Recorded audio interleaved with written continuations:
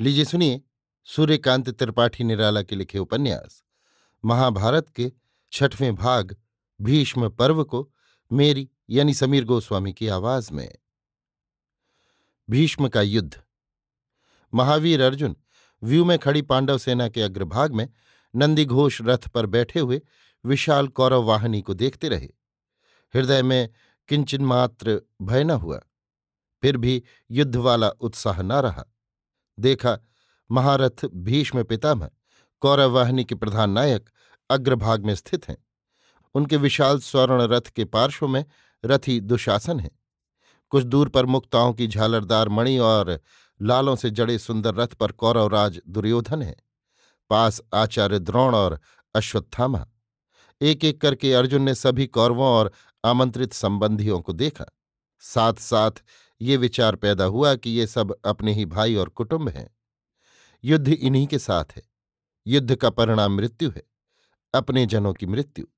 जिस राज्य के लिए ये युद्ध हो रहा है, वो भाइयों की मृत्यु से प्राप्त होगा। ऐसे राज्य को लेकर क्या होगा? ये राज्य तो वास्तव में तब तक शमशान हो जाएगा। महावीर पार्थ इस परिणाम पर काँप उठे। स्वजनों की मृत्यु से स्त्रियाँ विधवा होंगी। व्यभिचार बढ़ेगा। वर्ण संकर पैदा होंगे। पितरों के तर्पण श्रद्धादि लुप्त होंगे। दोनों लोग भ्रष्ट होंगे, अधर्म फैलेगा, फिर युद्ध अधर्म का परिणाम होगा। ऐसा कदापि उचित नहीं। ये विचार करते ही महावीर पार्थ का उत्साह जाता रहा। स्नेह से दुर्बलता दुर्बलता से हृतकंप हृतकंप से बहे स्वेद, नैराश, निर्वीरता आदि जारी हो गए। गांडीव हाथ से छूटकर गिरने को हुआ। ऐसे समय कृष्ण ने उनकी ओर देखा। उन्हें मोह की स्थिति में देखकर कृष्ण को आश्चर्य हुआ। एन मौके पर ऐसे शिथिल क्यों पड़े? पूछने पर अर्जुन ने युद्ध से होने वाले परिणाम की तस्वीर खींचते हुए कहा, ऐसा युद्ध करना अधर्म है। इसी चिंता से मैं दुर्बल पड़ गया हूँ। भगवान कृष्ण ने उन्हें उनका धर्म समझाया और गीतोपदेश किया।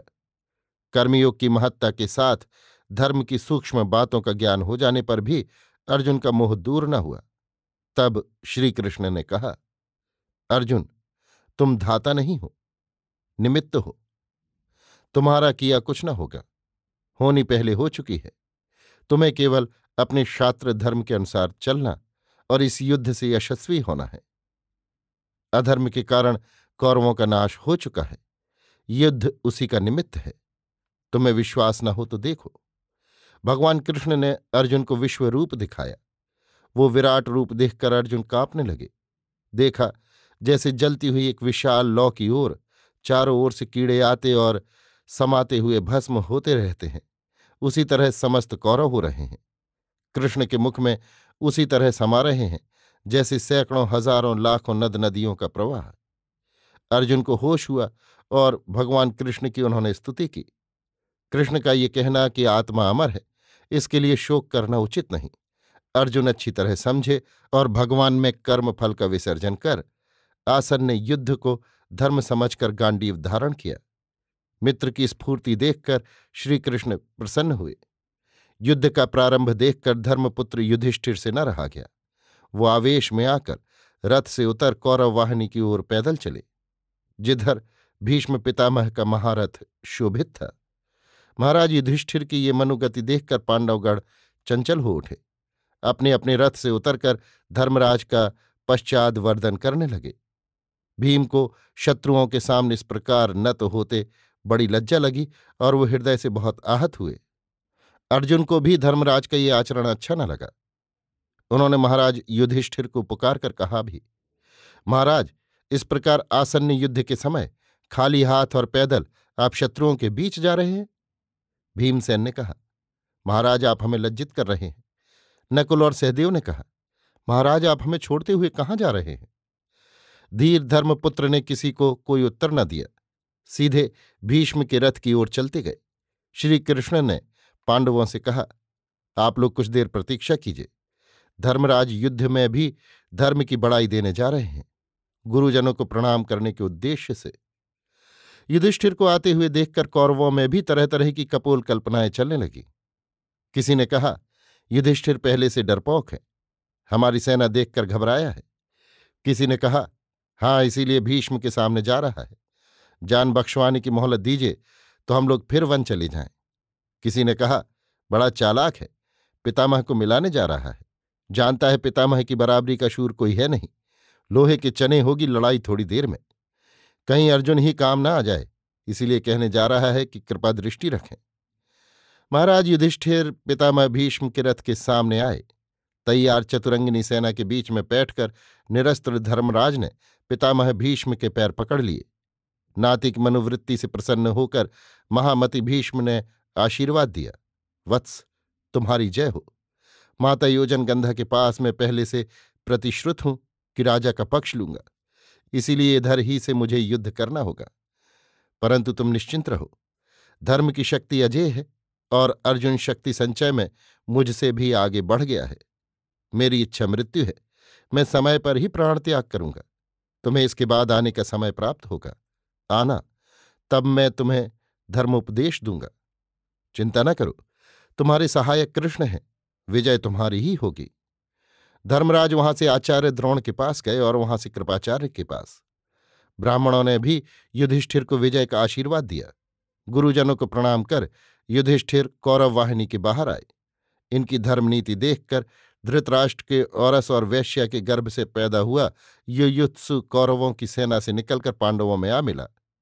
उसे हृदय से लगाते हुए युधिष्ठिर ने कहा, भाई, तुम दादाजी के धार्मिक पुत्र हो। समय पर तुम ही उनके काम आओगे। युद्ध की भेरी बजी। दोनों ओर के सेनापतियों ने शंख बजाकर अपनी अपनी सेना को सजग किया। हर मौके के सेनापति, रथी, गजारोही सवार और पैदल शूर सामंत सामने देखने लगे।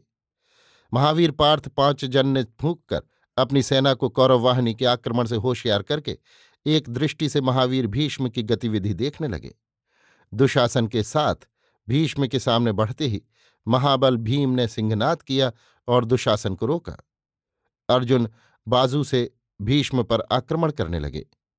भीष्म किनारे से ही अर्जुन के तीर काटते हुए दुशासन की सहायता करते रहे। भीम बहुत दिनों से क्रुद्ध समय की प्रतीक्षा में थे। एकाएक सिंह विक्रम से शत्रु पर टूटे। उस प्रलय के तूफ़ान का वेग दुशासन के लिए संभालना दुष्कर होता, अगर महारथ भीष्म सहायता न करते होते। भीष्म की क्षिप्रता देखने लायक थी। एक ओर महावीर अर्जुन के अव्यर्थ प्रखर तीरों को काटते थे, दूसरी ओर मुहुर्मुह दुशासन पर होते हुए भीम के प्रहारों को रोककर उसे बचाते थे। ये जैसे दुर्धुर्ष भीमार्जुन के साथ अकेले भीष्म का समर्थ। महासमुद्र की उठती तरंगों की तरह दुर्जय पांडव सेना, सुदृढ़ कौरव सैन्य तट को बार बार तोड़ने का उद्यम कर रही थी।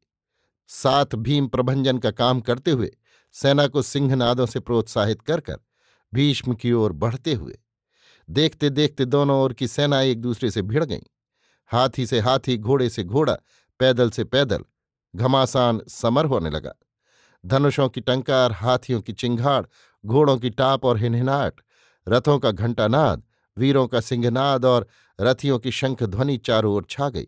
साथ ही ऐसी गर्द उठी कि सामने लड़ने के सिवा सेना को अपने पराये का ज्ञान न रहा। दोनों ओर काफ़ी सेना काम आ गई।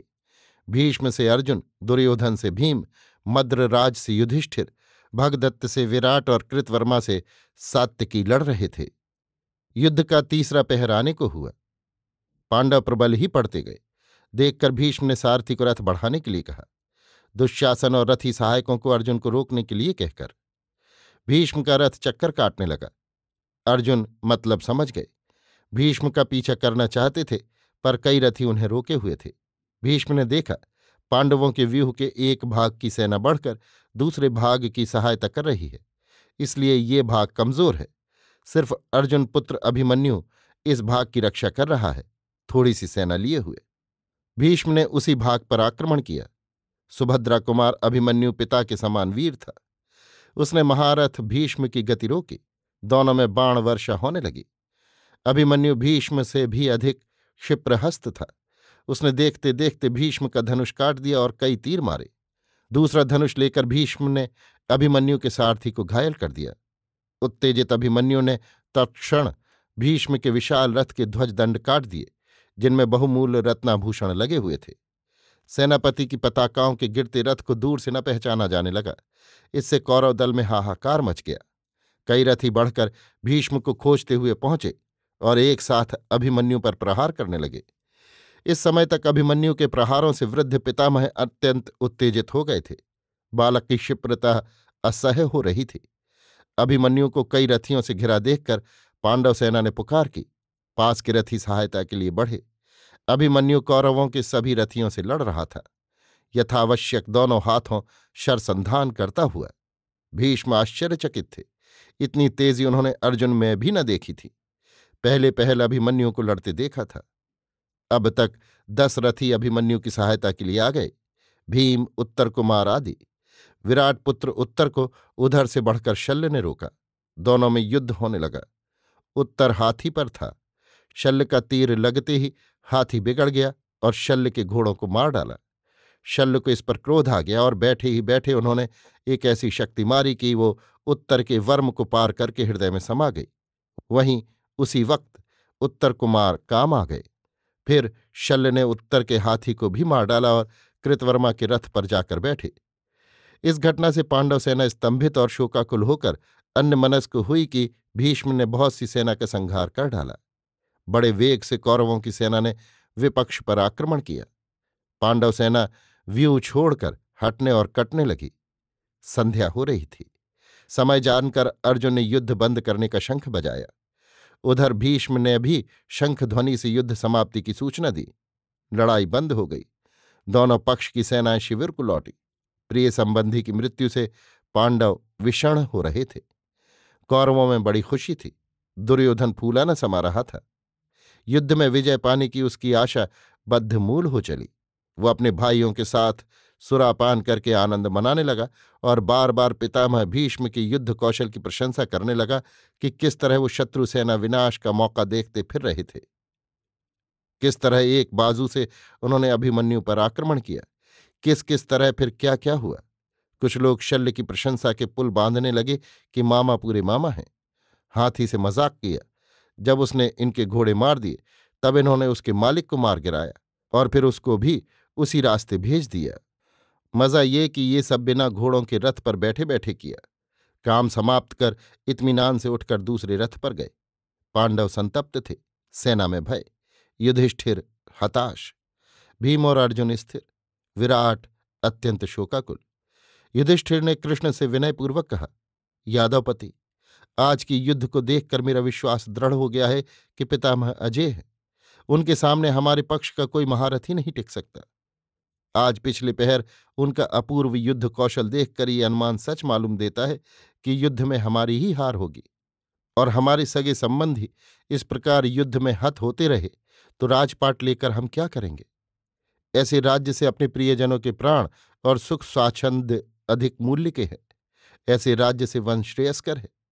अब इस युद्ध की आवश्यकता नहीं। धर्मराज के आँसू निकल आए। कृष्ण गंभीर होकर बोले, महाराज, क्षत्रिय के लिए युद्ध में निधन शोचनीय घटना नहीं हो सकती। ऐसा शोक कापुरुषता का द्योतक है। उत्तर को वीर गति से स्वर्ग प्राप्त हुआ है। इस युद्ध का अर्थ केवल युद्ध नहीं, धर्मराज्य की स्थापना है। पांडवों और पांडव पक्ष वालों के लिए ऐसे युद्ध में प्राण खोना चिंताजनक बात नहीं हो सकती।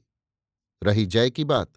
ये निर्विवाद है कि पांडवों का धर्म पक्ष है, इसलिए हार की आशंका धर्म से नहीं, गणना से भीमार्जुन के समकक्ष योद्धा कौरवों में नहीं, इसके अनेक प्रमाण अब तक प्राप्त हो चुके हैं। सेनापति दृष्टद्युम्न और सात्विकी कौरवों के किसी भी महारथ से सरकश हैं। पुनः एक दिन में ऐसे युद्ध के भविष्य का निर्णय नहीं हो सकता। आप पीछे हटेंगे तो ये आपका धर्म से डिगना होगा। ये कदापि आपका कर्तव्य नहीं कहा जा सकता। आप स्थैर्य से देखते चलिए। यदि ये भाव रखिएगा तो आपकी सेना का दिल और बैठ जाएगा और इसका परिणाम अधिक सेनानाश के सिवा और कुछ न होगा। कृष्ण के कथन का दृष्टद्युम्न ने समर्थन किया। महाराज विराट को भी सांत्वना मिली और बदले के लिए वो बद्ध परिकर हुए। रात्रि प्रभात हुई। दूसरे दिन के युद्ध के लिए व्यूह रचना होने लगी। भीम और अर्जुन हतोत्साह सेना को आश्वासन देने और स्नेह शौर्य से उभाड़ने लगे। सूर्य के उगने से पहले दोनों तरफ़ की सेनाएँ अपने अपने व्यूह में सेनापति की आज्ञा के अनुसार सन्निविष्ट हो गईं और युद्ध के लिए आदेश की बाट जोहने लगीं। आज अर्जुन की और ही छटा थी। भीम से उनका निश्चय हो गया था कि वो पितामह की गति रोकेंगे और भीम शत्रु पक्ष में बैठ कर सेना संहार करेंगे। सात्यकी भीम के सहायक होंगे। इसके अनुसार सामने अर्जुन का विशाल नंदी घोष रथ था, जिसकी ध्वजाएँ प्रभात की वायु से मंद मंद लहराती हुई अपनी सेना को बढ़ने के इंगित से उत्साहित कर रही थी। दाहिने भीम पीछे पीछे सात्यकी बाएँ दृष्टद्युम्न, पीछे सुभद्रानंदन अभिमन्यु। इन रथियों के पीछे श्वेतछत्र रथ पर महाराज युधिष्ठिर। दोनों ओर चतुरंगिनी सेना का व्यूह निवेश रच गया। हाथी, घोड़े, रथी और पदातिकों की श्रृंखला से श्रृंखला मिल गई। सूर्योदय हुआ। भीष्म और दृष्टद्युम्न ने शंख ध्वनि से युद्ध की सूचना दी। अर्जुन के रथ की ओर रथ बढ़ाने के लिए भीष्म ने सारथी से कहा, दोनों पक्ष के अच्छे अच्छे योद्धा भीष्म और अर्जुन के कौशल देखने के लिए अपने अपने दल की सहायता के विचार से एकत्र हो गए। भीष्म और अर्जुन में घनघोर युद्ध छिड़ गया। इसी समय भीम कौरवों की सेना में बैठे और एक ओर से संहार करने लगे। उनकी गदा के प्रहार से बड़े बड़े हाथियों के मस्तक कुंभ की तरह फूटने लगे। एक एक वार में कितने ही पैदल काम आने लगे। पूरा एक पक्ष कमज़ोर पड़ गया। रथ, घोड़े, हाथी और पैदल अपने दूसरे पक्ष की ओर भागने लगे। इस समय भीष्म की उस तरफ़ निगाह गई। भीम को सेना नाश करते हुए देखकर उन्होंने उधर रथ बढ़ाने की आज्ञा दी। कौरवों के दूसरे रथियों ने बढ़कर अर्जुन को रोका। भीष्म ने पहुँचते ही भीम के पार्श्व रक्षकों के घोड़ों को मार डाला। देखकर सात्विकी ने ऐसा तीर मारा कि भीष्म का सारथी गिर गया। सारथी के मरने से घोड़े भड़क कर रथ लेकर भग चले। भीम सात्विकी के रथ पर आकर बैठे। भीष्म के अदृश्य होने पर कौरवों में हाहाकार मच गया। संध्या का समय था। अर्जुन और द्रोण ने शंख बजाकर युद्ध बंद किया।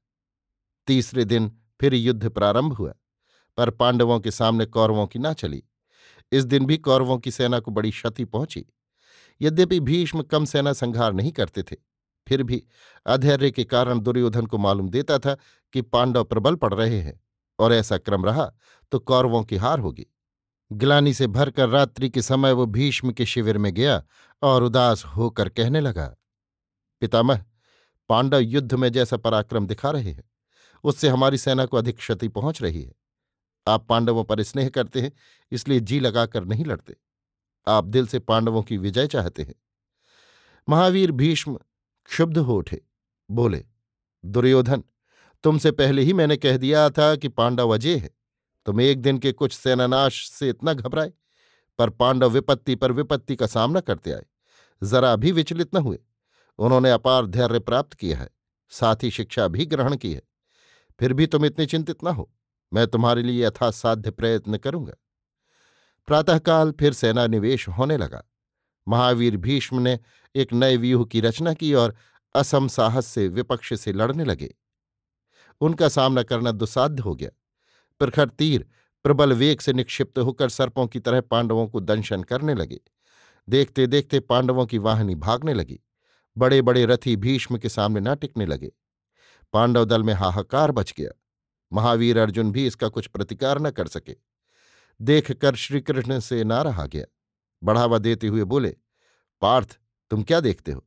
तुम्हारे सामने तुम्हारी सेना की ये दशा हो रही है और तुम तस्वीर की तरह बैठे हुए भीष्म की ये दक्षता देख रहे हो। अगर ऐसा ही इसका जवाब तुमने नहीं दिया तो सेना का अनर्थकारी संहार होगा। जिस तरह हो, भीष्म को रोको। श्रीकृष्ण की उत्तेजनापूर्ण बातों से अर्जुन जैसे होश में आए। अब तक भीष्म का जैसे अपार समर कौशल देखते रहे थे। गांडीव में कठोर टंकार कर तीक्ष्ण शर योजित किए। पितामह की हस्तलाघवता के आगे पार्थ जैसे अपनी क्षिप्रता भूल गए थे। देखते देखते विशाल गांडीव से लक्ष्य सिद्ध महारथ अर्जुन के तीक्ष्ण तर तीर छूट छूट कर भीष्म को चंचल करने लगे। पांडवों में नया जोश लहराने लगा। अन्य अन्य रथी अर्जुन की पार्श्व रक्षा के लिए बढ़ाए। कौरवहत बुद्धि होकर पार्थ का शरक्षेप देखने लगे। भीष्म के सहस्त्र प्रयत्न करने पर भी अर्जुन ने संध्या होते होते कौरवों की विशाल सेना का नाश कर डाला। अंत में भगवान भुवन भास करके अस्त होने पर दोनों तरफ़ के सेनापतियों ने शंखनाद करके उस दिन का समर समाप्त किया। संजय को व्यास जी की कृपा से दिव्य दृष्टि प्राप्त थी। वो घर बैठे महाभारत युद्ध का महाराज धृतराष्ट्र से वर्णन करते थे। उत्तरोत्तर कौरवों की हार हो रही थी। सुनते सुनते महाराज धृतराष्ट्र एक दिन शुद्ध हो उठे। कहा, संजय, तुम ये क्या कह रहे हो? पांडव क्या लोहे के हैं और कौरव मोहम के, जो युद्ध के जरा से ताप से पिघल पिघल कर बहे जा रहे हैं। कौरवों की सेना में भीष्म, द्रोण, कृप, अश्वत्थामा जैसे विश्व विजयी वीर हैं। कौरवों की सैन्य संख्या भी पांडवों से ज़्यादा है। फिर भी कौरव प्रतिदिन हारते जा रहे हैं। कहते हो, ज़रूर तुम पांडवों का पक्षपात करते हो। नहीं महाराज। संयत स्वर से संजय ने उत्तर दिया, पांडव तपस्वी होने के कारण बलवान पड़ते हैं। उनकी तरफ़ धर्म की शक्ति है। अस्तु महाभारत युद्ध में क्रमशः सात दिन पूरे हो गए। आज आठवें दिन का युद्ध है। दोनों दलों के सेनापति अपनी अपनी सेना को सन्निविष्ट करने लगे।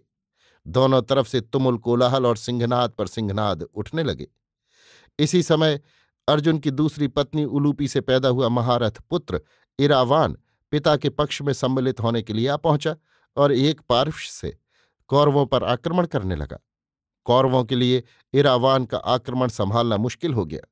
सेना व्यूह छोड़ छोड़कर भागने लगी। चारों ओर हाहाकार उठने लगा। सहायता के लिए पास के रथी दौड़े। शकुनी की सेना निकट थी। इरावान को रोकने के लिए बढ़ी, पर उलूपी पुत्र की कठोर मारों से उसके भी पैर उखड़ गए। पीछे गांधार थे। आगे बढ़े और इरावान को घेर कर भीषण युद्ध करने लगे। इरावान का शरीर क्षत विक्षत हो गया। शत्रु पक्ष को ज़ोर मारते देखकर इरावान क्रुद्ध हुआ और दूने उत्साह से सैन्य संचालन करता हुआ युद्ध करने लगा। गांधार भी इस बार आक्रमण न संभाल सके। कितने कटकट कर खेत रहे, बाकी मैदान छोड़कर भग खड़े हुए। शकुनी कौरवों की सहायता से किसी तरह बचकर भगे। समस्त कौरव दल में त्रास फैल गया। इसी समय दुर्योधन ने भीम से मारे गए बक के पुत्र राक्षस आर्ष श्रृंग को इरावान से लड़ने के लिए भेजा। राक्षस ने सोचा, सम्मुख समर ठीक नहीं। क्योंकि इरावान बलवान है, इससे माया समर करना चाहिए। ये सोचकर वो आकाश मार्ग से युद्ध करने लगा। ये माया इरावान को भी आती थी। वो भी आकाश मार्ग पर पहुँचा और उसी कौशल से राक्षस से लड़ने लगा। ये संवाद अब तक पांडवों के पास पहुँचा। वे लोग इरावान को सहायता भेजने की बात सोचने लगे। इसी समय राक्षस ने सम्मोहन विद्या से इरावान को मोहित करके उसके प्राण ले लिए। इसी समय भाई की सहायता के लिए भीमसेन का पुत्र घटोत्कच भेजा गया। इरावान का प्राणांत हो गया है। देखकर उसे अपार क्रोध आया और कौरवों की सेना का संहार करने लगा। बड़े बड़े वीर राक्षसों की सेना ने प्रलय की बाढ़ की तरह चारों ओर से कौरवों को घेर लिया। महाराज दुर्योधन बीच में पड़ गए। घटोत्कच की राक्षस सेना का बड़ी वीरता से उन्होंने मुकाबला किया, लेकिन राक्षसों की मार के सामने उनके पैर न टिके। उधर क्रोध में आकर घटोत्कच ने उन पर शक्ति प्रहार किया। वंग नरेश महाराज दुर्योधन के पास ही थे। उन्होंने उस शक्ति से दुर्योधन को बचा लिया, वार अपने ऊपर लिया, इससे उनके प्राण गए। राजा को राक्षसों से घिरा देखकर भीष्म और द्रोण ने सहायता की, तब दुर्योधन के प्राण बचे। इरावान की मृत्यु से अर्जुन क्षुब्ध हो उठे और बड़ी तत्परता से कौरवों का मुकाबला करने लगे। उनके प्रहत प्रखर तीरों से हज़ारों की संख्या में कौरव सेना धराशायी हुई। कौरवों के होश उड़ गए। दुर्योधन के अभी अभी प्राण बचे थे वो एक सुरक्षित स्थान से महावीर अर्जुन की भीषण बाण वर्षा त्रिस्त दृष्टि से देख रहा था। अर्जुन का वो भयंकर मुख और आरक्त नेत्र देखकर दुर्योधन विजय की आशा छोड़कर कौरवों के जीवन के लिए संशय करने लगा। इस समय भीष्म अर्जुन के सामने आए, लेकिन क्रुद्ध पार्थ के सामने आज उनकी भी न चली। देखते देखते अर्जुन ने कौरवों की फिर भी काफ़ी सेना मार दी। इस समय सूर्यास्त हो रहा था। सूर्य डूबने के साथ भीष्म ने शंख बजाकर युद्ध बंद होने की सूचना दी। कौरवों के प्राण बचे। दोनों पक्ष शिविर की ओर लौटे। दुर्योधन आज का दृश्य देखकर बेचैन हो रहा था। शिविर पहुँचते ही वो कर्ण के पास गया और दुखित होकर युद्ध के परिणाम पर कहने लगा, पांडव प्रबल पड़ रहे हैं। कौरवों की अधिक सेना मारी जा रही है। ये सुनकर कर्ण ने आश्वासन दिया कि भीष्म का निपात होते ही उनके दिव्य शरों के प्रहार से पांडवों का प्राणांत अवश्य होगा। इस प्रकार मित्र को ढांढस दे, रात्रि अधिक हुई कहकर विदा किया। लेकिन दुर्योधन को विश्राम न भाया। वहाँ से कुछ ही दूर पितामह भीष्म का शिविर था। खिन्न चित्त दुर्योधन पितामह के पास पहुँचा और स्वार्थवश विनम्रतापूर्वक प्रणाम कर बोला, पितामह, आप संसार के सर्वश्रेष्ठ योद्धा हैं। आपका विक्रम देवताओं को भी आतंकग्रस्त कर देता है, परंतु मैं देखता हूँ। आप जी लगाकर इस कुरुक्षेत्र के युद्ध में नहीं लड़ रहे। आपकी पांडवों पर प्रीति है। इससे उनका संहार नहीं होता, बल्कि फल प्रतिदिन उल्टा हो रहा है। अर्जुन हज़ारों और लाखों की संख्या में कौरव सेना का नाश कर डालता है, परंतु आप इसका प्रतिकार नहीं करते। अगर पांडवों का भीतर ही भीतर पक्ष समर्थन ही आपका उद्देश्य है तो आप आज्ञा दीजिए, सेनापतित्व कर्ण को दिया जाए। अपनी सेना का इस प्रकार संहार देखकर मैं बहुत ही विचलित हो गया हूँ। पितामह भीष्म स्वार्थी दुर्योधन की बातें सुनकर मन में समझ गए कि दुर्योधन में धैर्य नहीं है, इसलिए ये शुद्ध हो उठा है। संयत स्वर से बोले, वत्स, तुम जैसे मित्रों में पड़े हो, तुम्हारी बुद्धि नष्ट हो गई है। योद्धा तब तक धैर्य के साथ युद्ध करता है, जब तक युद्ध का फल सामने नहीं आता। इस युद्ध में पांडव सेना का कम संहार नहीं हुआ, परंतु तुम्हारी तरह पांडव अधीर नज़र नहीं आते। वे प्रतिदिन जिस धैर्य से युद्ध करते हैं, तुम देखते ही हो। पांडव ने जो सहन शक्ति अर्जित की है, उसका संसार में जोड़ नहीं, वे उदार भी हैं। तुम्हें इसका भी परिचय वे वनवास के समय दे चुके हैं। रही बात कर्ण के सेनापतित्व की, सो उनकी वीरता विराट नगर में तुम प्रत्यक्ष कर चुके हो। जाओ, विश्राम करो। कल के समर में हम पांडवों की भयंकर स्थिति कर देंगे। दूसरे दिन उषाहकाल दोनों की सेनाएँ वर्म चर्म असी गदादि अस्त्र शस्त्र धारण कर समर क्षेत्र में खड़ी हुईं। भीष्म ने सर्वतोय व्यूह और अर्जुन ने अर्धचंद्र व्यूह बनाकर अपनी अपनी सेना को श्रृंखलित किया। पश्चात सेनापतियों के इंगित से युद्ध का प्रारंभ हुआ। महारथ अर्जुन का दुर्जय वेग शत्रु पक्ष न सहन कर सका। उनके अव्यर्थ तीरों ने कौरवों की सेना के पैर उखाड़ दिए। देखते देखते एक तीर दुर्योधन के भी लगा और वो वहीं मूर्छित हो गया। आज की युद्ध का भी विपरीत फल देखकर महावीर भीष्म अस्थिर हो गए। उनके अधर फड़कने लगे और शरासन संभालकर तीक्ष्णतर तीरों से उन्होंने अर्जुन पर आक्रमण करना शुरू कर दिया। वो प्रबल आक्रमण दक्ष धनवी पार्थ संभाल नहीं सके। भीष्म ने देखते देखते रणक्षेत्र का समस्त आकाश, अर्जुन के दोनों पार्श्व और नंदी घोष रथ का संपूर्ण पूर्व भाग शरों से समाच्छन्न कर दिया। इसके पश्चात तीरों की प्रखर से प्रखर चोटें अर्जुन को आकर विद्ध करने लगीं। उन्हें संवरण करना अर्जुन के लिए दुष्कर हो गया। तीरों से नंदी घोष इस तरह आच्छन्न हो गया कि पांडवों तथा पांडव सेना की दृष्टि में ही न आया। पांडव दल में हाहाकार मच गया। इधर भीष्म अपूर्व क्षिप्रता से शर योजना और निक्षेप कर रहे थे। तीरों की चोटों से अर्जुन घायल हो गए। कृष्ण के अंग भी जर्जर हो गए। अश्वों की गति अवरुद्ध हो गई। अर्जुन से प्रतिकार करते न बना। इसी समय भीष्म ने हज़ारों की संख्या में पांडव सेना का संहार कर दिया। कौरवों में बड़ा उत्साह उमड़ा। पांडव किंकर्तव्य विमूढ़ हो गए। उन्हें जैसे प्रलय दिखने लगा। कृष्ण मन में शंकित हुए। जब अर्जुन से कुछ करते न बना और पुनः पुनः भीष्म पांडव वाहिनी का नाश करने लगे, कृष्ण भी तीरों की चोट से जर्जर हो गए। तब उनसे ना रहा गया।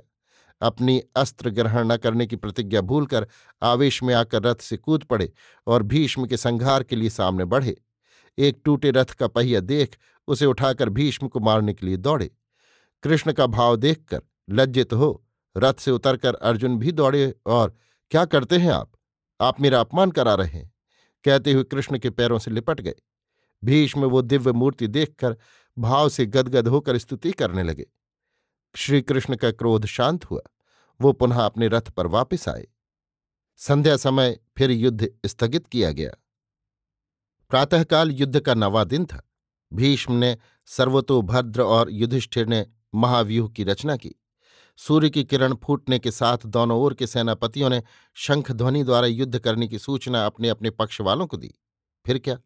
वीरों के दर्पपूर्ण सिंहनादों, घोड़ों की टापों और रथों की घरघराहट से पृथ्वी दहलने लगी। गजारोही, अश्वारोही, रथी और पदातिक अपने अपने प्रतिद्वंद्वी से मोर्चा लेकर डट गए। तुमुल कोलाहल से युद्ध क्षेत्र पूर्ण हो गया। बाएँ पक्ष में अभिमन्यु था। वीर बालक अगम साहस से शत्रु पक्ष में बैठकर कौरव सेना को धराशायी करने लगा। देखकर एक साथ द्रोण, कृप, अश्वत्थामा और जयद्रथ वीर बालक के सामने आकर डटे। परंतु अभिमन्यु के एक ही एक वार से कोई विरत होकर भागा, कोई चोट खाकर, कोई मूर्छित होकर सारथी द्वारा ले जाया गया। अभिमन्यु की अद्भुत वीरता देखकर भीष्म क्रुद्ध हुए और सारथी से रथ बढ़ाकर अभिमन्यु के सामने करने के लिए कहा। अर्जुन बड़ी तत्परता से बढ़ रहे थे। साथ साथ पितामह की गतिविधि का भी निरीक्षण कर रहे थे। भीष्म को अभिमन्यु की ओर बढ़ते देखकर उन्होंने भी कृष्ण से भीष्म की गति रोकने के लिए रथ बढ़ाने को कहा। फलतः अभिमन्यु तक भीष्म की पहुँच न हो सकी। वो बीच में ही रोक लिए गए। लेकिन महावीर भीष्म अवरुद्ध होने पर भी पूर्ण शक्ति से अपनी बाधा पार करने का उपक्रम करने लगे। आज अर्जुन भी पूर्ण रूप से चेतन थे। दोनों में महासमर होने लगा। अविराम वर्षा की तरह दोनों ओर से प्रखर शरधारा प्रवाहित हो चली। दोनों पक्ष के बड़े बड़े रथी भीष्म और अर्जुन का आश्चर्यजनक समर कौशल एकटक होकर देखने लगे। कुछ समय के बाद महावीर भीष्म का वेग अर्जुन न रोक सके। उनके हाथ पिछले दिन की तरह शिथिल हो चले। पलक मारते भीष्म अर्जुन के बाणों का जवाब देकर पांडवों की सेना का संहार करने लगे। ये क्षिप्रता देखकर अर्जुन चिंता करते हुए सोचने लगे। महावीर भीष्म से विजय पाना असंभव है। भीष्म ने उस दिन भी सहस्त्र सहस्त्र पांडव सेना का नाश किया। संध्या समय कौरवों के जयोल्लास से समर समाप्त हुआ। पांडव विषर्ण होकर लौटे। रात के समय समस्त पांडव एकत्र होकर कृष्ण से मंत्रणा करने लगे। युधिष्ठिर ने कहा, कृष्ण, अब संग्राम में विजय न होगी। पितामह भीष्म जिस उग्रता से संग्राम कर रहे हैं, इससे पांडवों की सेना का बहुत जल्द नाश जान पड़ता है। भीम ने कहा, अर्जुन ने बड़े बड़े देवताओं से जो दिव्य अस्त्र प्राप्त किए हैं, उनका उपयोग न जाने क्यों नहीं करते? नहीं तो भीष्म की भीषणता अब तक ठंडी हो गई होती। अर्जुन ने कहा, केशव, अब आप यही उपाय बतलाइए कि महारथ भीष्म से किस प्रकार संग्राम करके विजय प्राप्त की जाए? कृष्ण कुछ देर तक सोचते रहकर बोले, महाराज, भीष्म केवल महारथ ही नहीं, महामती भी है। मेरी राय में हम सब लोग उनके शिविर में चलें। और उन्हीं से उन पर होने वाली विजय का उपाय पूछे। श्री कृष्ण की ये सलाह लोगों को बहुत पसंद आई और सब उसी वक्त उठकर चलने को तैयार हुए। भीष्म आराम कर रहे थे। श्री कृष्ण और पांडव पहुँचे। श्री कृष्ण को देखकर प्रसन्नतापूर्वक भीष्म उठकर खड़े हो गए।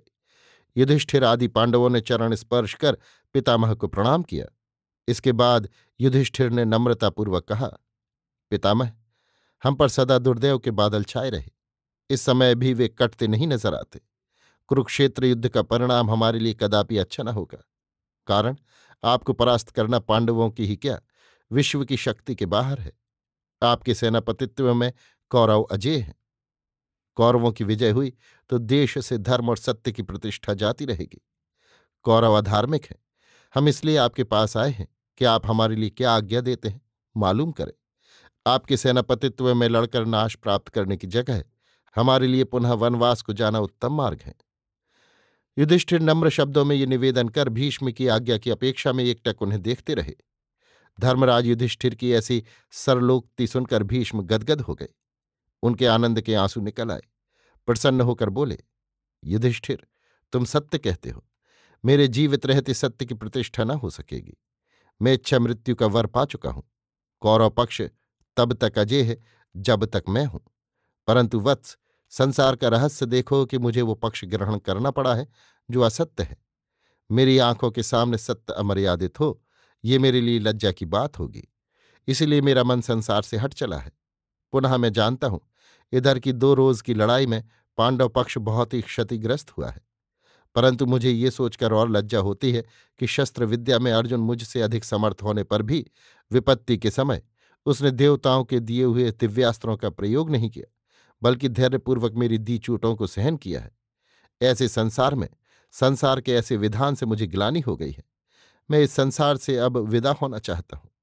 मेरे स्थान पर अर्जुन मेरे वंश का मुख उज्जवल करेगा। सुनो, मैं अपनी मृत्यु का भेद तुम्हें बतलाता हूँ। तुम्हारी सेना में द्रुपद का बेटा शिखंडी पहले का स्त्री है। मेरे वध के लिए उसने शिवजी की तपस्या की थी। उसे वर मिला है। द्रुपद के घर वो पैदा हुआ था कन्या रूप में। लेकिन एक दानव के वर से वो फिर पुरुष रूप में बदल गया। परंतु पूर्ण रूप से अभी तक उसका स्त्रीत्व दूर नहीं हुआ। वो नपुंसक है। उसे देखकर मैं अस्त्र ग्रहण नहीं करूँगा। यदि उसे सामने करके अर्जुन मुझ पर शरक्षेप करेगा तो अधीर होकर निशस्त्र में प्राण छोड़ने को विवश हूँगा पांडवों ने पितामह के पैरों पड़कर प्रणाम किया और चलने की आज्ञा मांगी। प्रसन्न होकर भीष्म ने अपने वीर पौत्रों को आशीर्वाद दिया। दसवें दिन का महायुद्ध शुरू हुआ। दोनों ओर की सेनाएँ पहले की तरह मैदान में आकर खड़ी हुई। सेनापति व्यूह की रचना करने लगे। आज कौरवों के अग्रभाग में भीष्म और पांडवों के भीम थे। नकुल सहदेव और सात्यकी उनके रक्षक।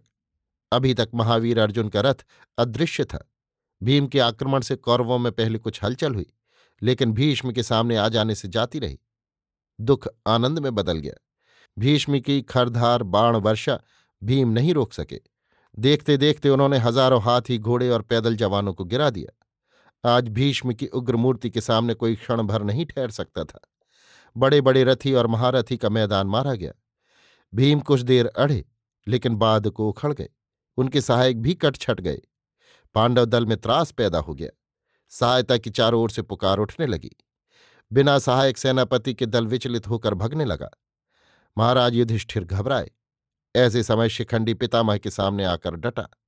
शिखंडी को देखकर उन्होंने अस्त्र परित्याग कर दिया। शिखंडी उन पर तीर चलाने लगा, पर महावीर भीष्म को चोट लगने की तो बात क्या? शिखंडी के उन तीरों से उनका वर्म भी न बिंधा, वे मुँह फेरे हँसते रहे। इसी रथ पर पीछे अर्जुन बैठे थे। कृष्ण ने कहा, पार्थ, तुम तीर मारो। शिखंडी के तीर भीष्म का वर्म भेद नहीं कर पा रहे। कृष्ण, अर्जुन ने कहा यह बहुत बड़ा अन्याय है।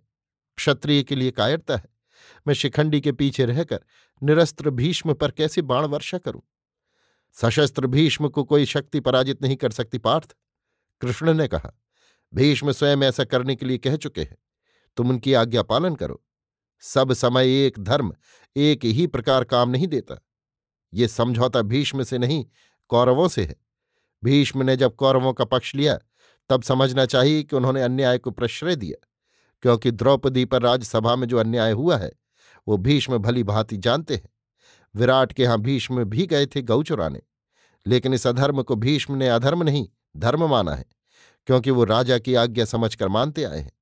वो अपनी विमाता सत्यवती से प्रतिज्ञा कर चुके थे कि राज सिंहासन की रक्षा करेंगे। उनके वंश में कोई राजा हो, उसकी रक्षा ही भीष्म का धर्म है। इसलिए तुम भी अपना धर्म पालन करो। भीष्म को मारो। सुनकर क्रुद्ध अर्जुन गांडी में तीक्ष्ण शर की योजना करने लगे, मारने लगे। तीर वर्म भेद कर पितामह के जीर्ण शरीर में चुभ गया। वो समझ गए, ये शिखंडी का नहीं, उन्हीं के महारथ नाती का तीर है। इस प्रकार तीर पर तीर विद्ध होते हुए भीष्म को जर्जर करने लगे। अभी तक दोनों ओर युद्ध हो रहा था, इसलिए भीष्म की दशा की तरफ़ किसी पक्ष का ध्यान न था। जब भीष्म का शरीर तिल तिल बिद्ध हो गया तब वो बैठे न रह सके। रथ से लुढ़क कर पृथ्वी पर आ गए और चुभे तीरों के कारण उन्हीं पर रह गए। मिट्टी में उनकी पीठ न लगी। भीष्म के गिरते ही दोनों दलों में हाहाकार मच गया। लड़ाई बंद हो गई। दोनों पक्ष के बड़े बड़े सेनापति भीष्म को देखने के लिए रथ हाथी घोड़ा छोड़कर पैदल दौड़ पड़े। चारों ओर से कौरव पांडव और राजा महाराजा घेर कर खड़े हो गए। दुर्योधन को जान पड़ा। अब कौरवों का अंत आ गया। युधिष्ठिर भी शोक से उद्विग्न खड़े थे। भीष्म ने कहा, सिर लटक रहा है, इसके लिए उपाय होना चाहिए। महाराजा दुर्योधन तकिया लेने के लिए दौड़े और एक कीमती तकिया मंगाकर भीष्म के पास आए। भीष्म ने अर्जुन की तरफ़ देखा। अर्जुन ने तीन तीर संधान कर सिर के नीचे ऐसे मारे कि वे आधार बन गए। फिर भीष्म ने कहा, प्यास लगी है। दुर्योधन ने स्वर्ण पात्र में शीतल जल मंगाकर हाजिर किया। भीष्म ने फिर अर्जुन की तरफ़ देखा। अर्जुन ने तीर संधान कर पृथ्वी पर मारा। शीतल निर्मल जलधारा फूटकर भीष्म के मुँह में गिरने लगी। पानी पीकर भीष्म ने दोनों पक्ष वालों को जाने की आज्ञा दी और कहा, सूर्य के उत्तरायण में आने पर वो प्राण छोड़ेंगे। अभी आप सुन रहे थे सूर्यकांत त्रिपाठी निराला के लिखे उपन्यास, महाभारत का छठवां भाग, भीष्म पर्व। मेरी यानी समीर गोस्वामी की आवाज़ में।